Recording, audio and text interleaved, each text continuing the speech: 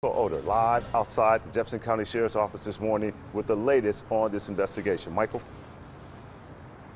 Yeah, right now, Art, there is one person in the hospital related to this shooting. We don't know their condition this morning, but we do know that they did not have serious injuries when they were taken to the hospital early this morning. Let's get to that video from the scene out there. This happened very early this morning in Brighton off of Letson Street there. Jefferson County Sheriff's deputies tell us there were multiple shots fired in the area. That person who was taken to the hospital, she was a woman. Again, we're told that her injuries were not life threatening, but she was taken to the hospital to be checked out and to be treated.